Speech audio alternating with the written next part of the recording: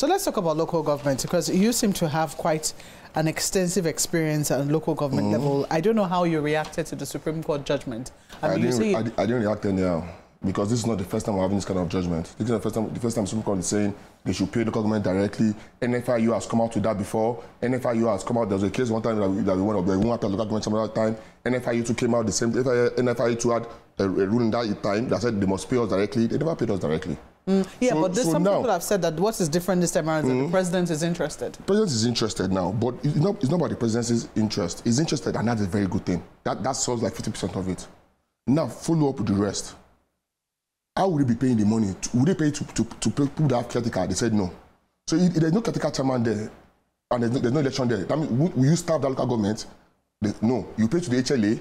You pay to the HLA, who is still in charge? It's not still the governor. So there's a lot of lacuna there. There's still, still a lot of loopholes in that judgment. Plenty loopholes. So you were not happy about it? I, am not happy about it. Even though that's what you've always wanted? I want autonomy, full autonomy from INEC. Let INEC do the election for local government. Let, let, let local government start on its own, like the state government and the federal government. That's what you want? As, it, as they are now, they start the back and call of the governor. So if, giving, if giving them their money directly makes no difference? What, what is governor tells you, oh yeah, that money, don't spend it. What will you do? Local government chairman cannot disobey and say, Governor, you can't tell me that. He can't. Who put him there?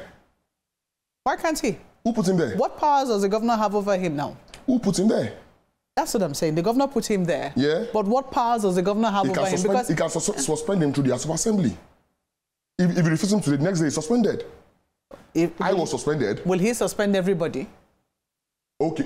By the time he suspends one, the rest will sit up and start following what the, what, what, what the governor is saying now. Immediately. And he, and he, he can, I, like I said, I was dissolved. When, I, when, when the governor came he dissolved me. So he can dissolve the whole council. He's, he's, he's power.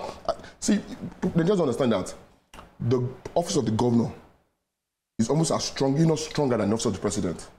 Mm. So would you say that, you know, this optimism that people have, because I've spoken with a number of people so far. They are very optimistic that this uh, judgment, uh, which you say has come before, I have heard that it has come before, mm. you know, but which they say it has come afresh and that there's going to be backing for it. That yes. they, be, they believe that this is one of the best things that can happen. I mean, we've been hearing yeah, all of yeah, that. Are you saying that the optimism is unfounded? It's not unfounded, like I said, because because the president is behind this. So 50%, that uh, um, optimism is up 50%. Because now you know that the president is backing it. Mm. But now, like I said, little the remaining 50%, what will happen? That's what we don't know is the hands of the governor. What we need, what the first autonomy we really need is for INEC to run the local government election.